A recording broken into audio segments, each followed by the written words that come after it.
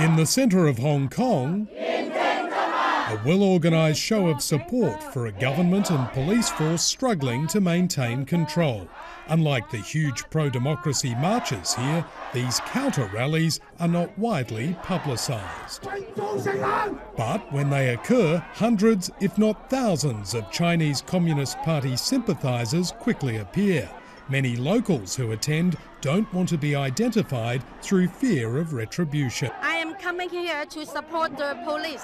Angelo Giuliano has lived in mainland China for 25 years. He believes American spies are now trying to undermine Beijing's control of this territory. And the CIA are here in Hong Kong, and I believe there's probably a, a few hundred agents. It's a theory supported by others in the crowd. The Americans uh, give Hong Kong some of the people a lot of support, like NED or CIA, CIA something like that.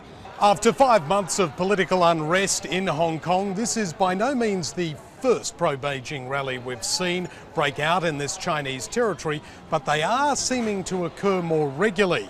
There's a sense among the Chinese nationalists in this crowd that Hong Kong's besieged police force needs its support. Earlier, the passionate crowd had gathered outside Hong Kong's police headquarters, where their presence seemed to be welcomed. Then, in under half an hour, the Defend Hong Kong rally was over and the Chinese government sympathisers quickly dispersed. Andrew Greene, ABC News, Hong Kong.